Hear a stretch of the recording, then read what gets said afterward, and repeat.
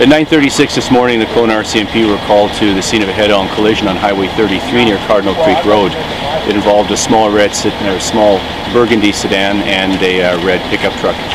Uh, one person uh, is deceased in one of the vehicles. Uh, the occupants of the other vehicle were taken to the Kelowna General Hospital with uh, what appears to be non-life-threatening injuries. Uh, the investigation is just beginning at this point. So Highway 33 is going to be shut down for the time being to allow the analyst to complete his investigation.